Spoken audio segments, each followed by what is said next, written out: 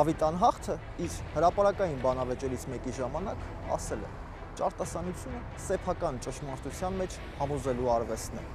Իդեպ Անհախտը հենց Անհախտ է անվանվել, որովհետև նրանից ավելի լավ ոչ ոք չի կարողացել համոզել սեփական ճշմարտության մեջ։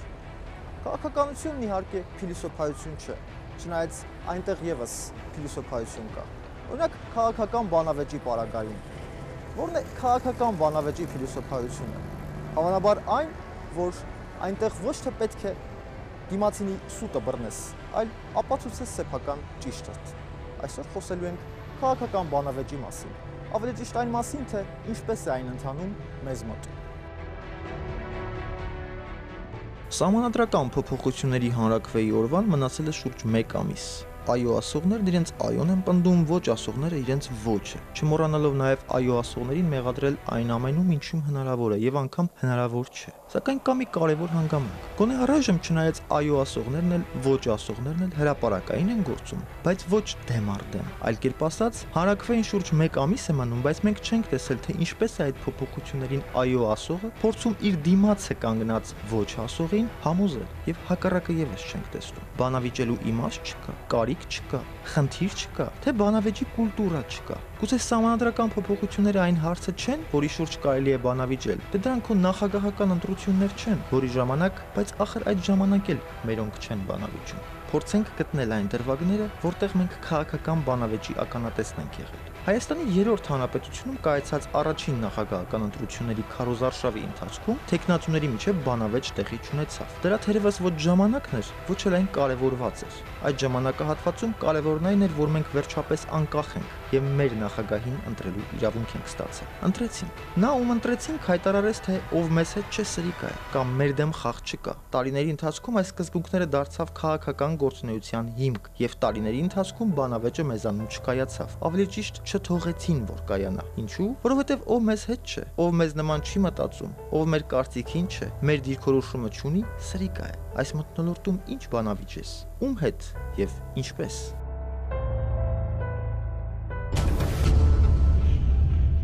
Ոչինչ չփոխվեց երկրորդ նախագահական ընտրությունների ժամանակ, որտեղ գործող նախագահ Լևոն Տեր-Պետրոսյանի հետ լրջորեն մրցակցում էր Վազգեն Մանուկյանը, ով այդ ընթացքում դարձել էր միավորված ընդդիմության, ավելի ճիշտ մնացած ընդդիմության միավորման առաջնորդը։ Բայց միջ այդ գործող նախագահ հասցրել էր փակել, ձերբակալել, արտաքսել այն բոլորին, ովքեր համաձայն չէին իր հետ։ Միևնույն ժամանակ լուրջ սպառնալիք էին իրեն։ Դրանով իսկ բացառելով իր հետ քաղաքական բանավեճ ծավալելու որևէ մեկի հնարավորությունն անգամ։ Երկրորդ նախագահական ընտրություններում գործող նախագահի հիմնական հակառակորդ Վազգեն Մանուկյանը ցանկություն չհայտնեց բանավիճելու գործող նախագահի հետ։ Հասկանալի է, որ նման ցանկություն չունեցավ նաև Լևոն Տեր-Պետրոսյանը։ Ավելի ուշ Վազգեն Մանուկյանը պետք է հայտարարի, որ ինքը պատրաստ է բանավիճել իր մակարդակի ցանկացած մարդու հետ։ Եվ մենք տրամաբանում ենք, որ երկրորդ նախագահական ընտրություններում Վազգեն Մանուկյանի մակարդակի մարդ չկար, կամ Վազգեն Մանուկյանի կարծիքով իր մակարդակի մարդ չկար նախագահական երկրորդ ընտրություններում հիմնական մրցակիցների միջև հրաապարակային քաղաքակիրթ բանավեճ չլինելու պատճառով էլ թերևս եղավ այն,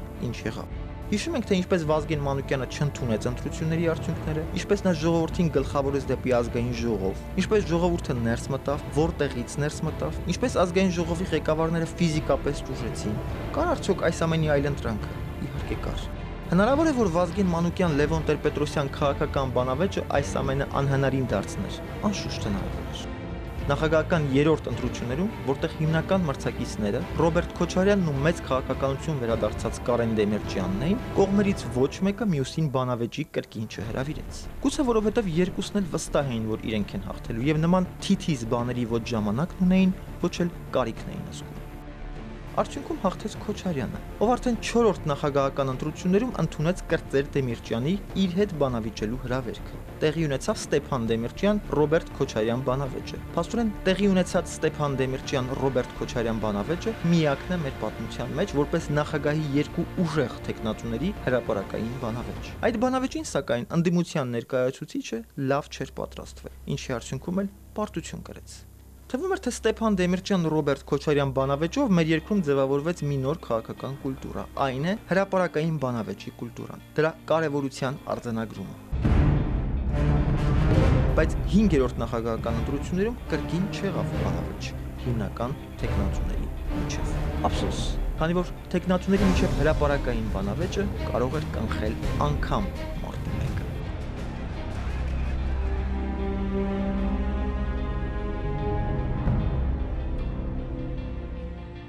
6-րդ կամ վերջին նախագահական ընտրություններում գործող նախագահ Սերժ Սարգսյանի հետ մրցակցում էին շատերը, բայց նախագահ դառնալ ցանկանում էր նրանցից միայն Ռաֆի Հովանիսյանը։ Վերջինս ի դեպ հրաապարակային բանավեճի հրավիրեց Սերժ Սարգսյանին։ Ճիշտ է հարգարժան Ռաֆին որպես այդ բանավեճի կայացման վայր առաջարկեց ազատության հրաապարակը, բայց սա էլ ոչի հարց է։ Սերժ Սարգսյանը մերժեց այդ հրավերքը։ Ճիշտ է, ավելի ուշ, արդեն ընտրություններից հետո գործող նախագահը ընտրություններում իր հիմնական մրցակցին, ով վիճարկում էր ընտրությունների արդյունքները, հրավիրեց Բաղրամյան 26 հանգիստ խոսելու եւ խոսեցին։ Բայց այդ խոսակցության ձևաչափը ամենևին էլ բանավիճային չէր։ Մասնավորաբար, ըստ նախագահականի տարածած հաղորդագրության, Սերժ Սարգսյանի ասածներին Ռաֆի Հովանեսյանը կամ չի հակադարձել, կամ ոչինչ էլ չի պատասխանել։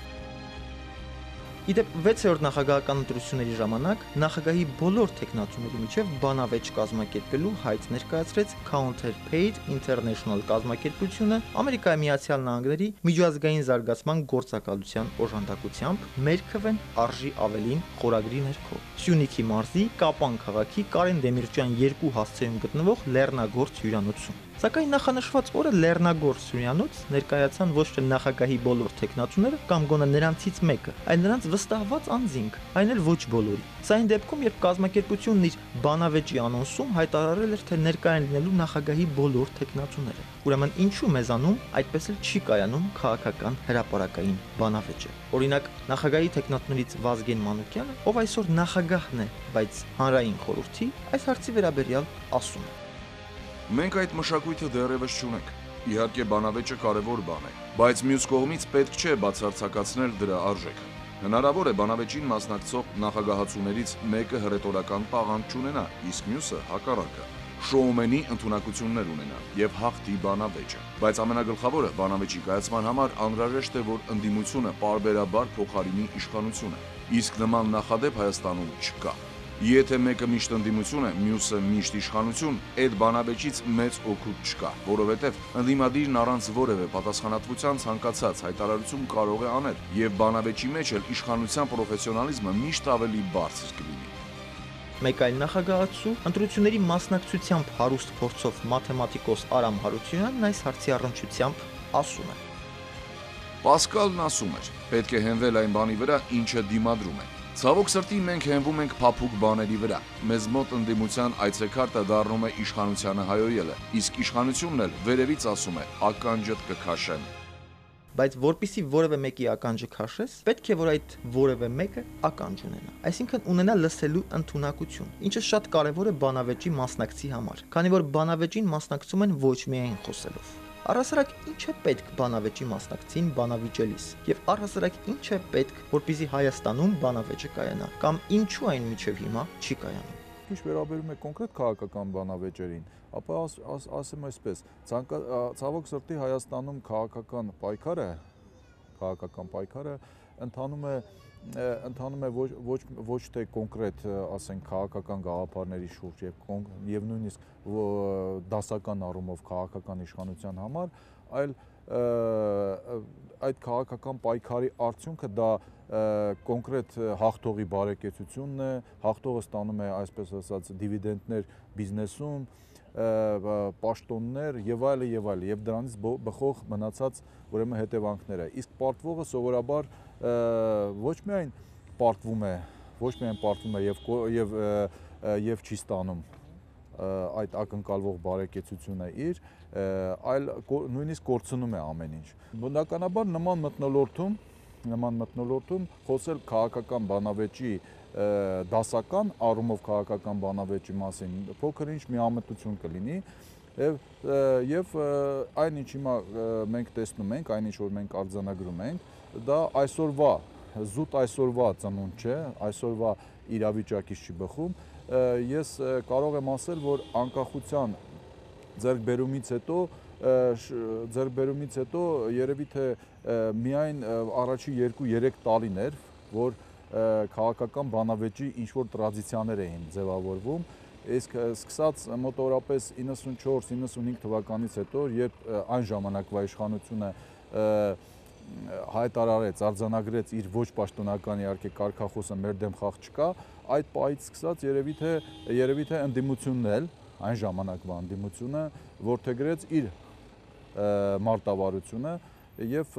այսպես ասած այսպես ասած խաղը այնքան սրվեց, որ քաղաքական բանավեճի իմաստ էլ չկար։ Մյուս եւ պետք է նաեւ փաստեմ, որ գրեթե հենց անկախությունից հետո էլ քաղաքական բանավեճ չէր կայանում, որովհետև շատ դեպքերում հենց տվյալ պահի օրվա իշխանությունն էր միշտ խուսափում քաղաքական բանավեճերից, մասնավորապես ընտրական process-ի ժամանակ, երբ մենք ասում ենք քաղաքական բանավեճ, իհարկե մասնավորապես մենք նկատի ունենք էլեկտորալ process-ների համապետական ընտրությունների ընթացքում քաղաքական բանավեճերի անհրաժեշտության մասին սովորաբար իշխող կուսակցությունը խուսափում էր այդ բանավեճերից, հասկացնելով, որ օպոնենտները, այսպես ասած, իր իր քաշային կատեգորիայում չեն։ Աշխարհում, ինչպես գիտենք, հիշում ենք հայտնի ֆիլմից մենք ենք, Ամերիկան է ու Ավստրիան։ Ավստրիային թողնենք մեկ ուրիշ առիթի։ Խոսենք Ամերիկայից։ Այդ երկրում, ինչպես գիտենք, 1960 թվականից սկսած առանց տեխնացուների միջև բանավեճի նախագահական ընտրություններ չեն լինում։ Ամերիկայի Միացյալ Նահանգներում անգամ խաղադրույքներ են ընդունում, թե բանավեճի ժամանակ որ տեխնացուն կհաղթի։ Առաջին անգամ նախագահի տեխնացուների միջև բանավեճ Միացյալ Նահանգներում տեղի ունեցավ ամենևին էլ ոչ այդ երկրի հիմնադիր նախագահ Ջորջ Վաշինգտոնի օրոք, ինչը մեզ հույս է տալիս, որ մի օր էլ բանավեճը մեր քաղաքական կյանքը կմտնի։ 1960 թվականի սեպտեմբերի 26-ին բանավեճ տեղի ունեցավ Ջոն Քենեդիի եւ Ռիչարդ Նիքսոնի միջև։ Իդեպ առաջինը գործող նախագահն էր, երկրորդը գործող փոխնախագահը։ Այդ օրը Նիքսոնը, ով ըստ փորձագետների ընտրությունների ֆավորիտն էր, վատառողջ էր ներկայացել բանավեճին եւ ինչպես New York Times-ն էր գրել բանավեճից հետո, չնայած երկուսն էլ ունեն նույն քաղաքական փորձառությունն ու գիտելիքները, բայց Քենեդին բանավեճում հաղթեց իր հիվանդ մրցակցին։ Ընտրությունների արդյունքում Ջոն Քենեդին ընտրվեց Միացյալ Նահանգների նախագահ։ Դրանից հետո Ամերիկայի Միացյալ Նահանգներում սկսեցին լրջորեն վերաբերվել նախընտրական բանավեճերին, քանի որ փաստորեն ստեղծվեց մի գուցե կարծրատիպ, որ Միացյալ Նահանգների նախագահ է դառնում նա, ով հաղթում է նախընտրական բանավեճերում, անկախ միջայդ ծավալած գործունեությունից։ Օրինակ 2000 թվականին, երբ կրծեր Բուշը բանավիճում էր Ալ Գորի հետ։ Վերջինս ավելի բարձր վարկանիշ ուներ ամերիկացիների շրջանում, սակայն կայացած բանավեճի ժամանակ, երբ Բուշը խոսում էր, Գորը դիտավորյալ հոգոց էր հանում տպավորություն ստեղծելով, թե իր համար եւ բոլորի համար Բուշի խոսքը ձանձրալի է արի ուտես, որ ամերիկացիները հիասթափեցրին բարբերաբար հոգոցանող իրենց նախագահի տեխնացուին եւ բանավիճում, ապա եւ ընտրություններում հաղթեց Ջորջ Բուշ կրծերը առհասարակ դիմացինին հրաապարակային վիրավորելու պրակտիկան չի ողջունվում ամերիկացիների կողմից։ Օրինակ 2008 թվականին հանրապետական տեխնացու Ջոն Մաքքեյնը, խոսելով իր մրցակից Բարակ Օբամայի մասին, վերջինիս հասցեին ասում էր այդ մեկը։ Ընտրություններում Մաքքեյնը պարտվեց ընտրություններում, բայց 1988-ի պարտվեց նաև դեմոկրատ Մայքլ Դուկակիսը, ով բանավեճի ժամանակ պատասխանելով հարցին, թե ինքը ում մահապատժի չի ենթարկի երբեք, ասել էր. նրան, ով կբռնաբարի կամ կսպանի իմ կնոջը։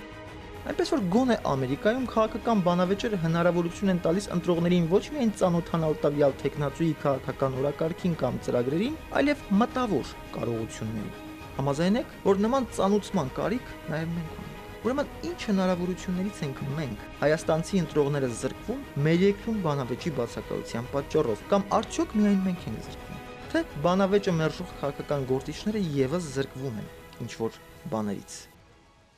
ընդհանրապես քաղաքական կյանքում իհարկե հնարավորություն են տալիս հնարավորություն են տալիս գոնե տեսականորեն ավելի մատչելի դարձնել սեփական գաղափարախոսությունը, սեփական առավելությունները եւ ինչու՞ չէ նաեւ իրոք սեփական մարդկային տեսակը, այսպես ասեմ բացահայտել ընտրողների համար, ապագա ընտրողների համար, իսկ քաղաքական ուժերի ուժերի համար հասարակությունը դա հիմնականում դա ընտրազանգված է, գոնե ընտրական սեզոնում բացահայտել սեփական առավելությունները։ Նույն Ամերիկայի Միացյալ Նահանգներում բնականաբար դա դա բաց, բացահայտ պարտադիր պայման է։ Դեբատները կրում են համապետական բնույթ, հերոստանգերությունները, որոնք հա, հաղորդում են այդ դեբատները, հսկայական ռեյտինգներ են հավաքում, որովհետև բնակչությունը պարտադիր է համարում, շատ լուրջ է վերաբերվում իր ընտրությանը թե քաղաքական տեսակետից, թե այդ կոնկրետ մարդու մարդուն ճանաչելու տեսակետից իրոք իրոք հասկանալու այդ մարդու թե խառնվածքը, թե ինտելեկտուալ հնարավորությունները եւ այլը եւ այլը եւ այլը։ Այսինքն դժվար է պատկերացնել, որ որ Միացյալ Նահանգներում որևէ տեխնացու կարող է սնոբիզմով տարապել եւ ասել, որ քանի որ իմ տեխնացուն իմ քաշային կատեգորիայում չէ, ես չեմ մասնակցելու, հենց հաջորդ իսկ րոպեից այդ տեխնացուն կկորցնի բոլոր հնարավորությունները, բոլոր հնարավորությունները ընտրվել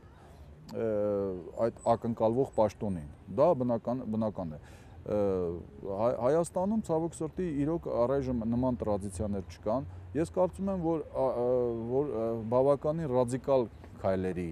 խնդիր կա։ Պետք է ես կարծում եմ օրենքի ուժով դա կիրառել, այսինքն դա պետք է օրենքում ամրագրված լինի, որ տեխնացուները կամ քաղաքական ուժերը պարտավոր են մասնակցել բանավեճի։ Այսինքն գոնե սկզբնական փուլում մենք պետք է պարտադրենք պարտադրվի բոլորին մասնակցել։ Ես կարծում եմ շատ բան հիմա ռադիկալ փոփոխությունների, այսպես ասած վիրահատական փոփոխությունների խնդիր կա։ Իհարկե ես մեկի մասին նշեցի, որ օրենքով է պետք պարտադրել, դա ես կարծում եմ կարելի է անել, կարելի է անել, իսկ մյուս խնդիրը դա այն է, որ իրոք նույն կուսակցություններում պետք է արդեն իշխանապողություն լինի, սենց ասեմ։ Սկզբից պետք է իրենց կուսակցություններում իշխանապողություն լինի, որպեսզի հետո հավակնություններ լինել ընդհանրապես իշխանապողության եր, երկրում։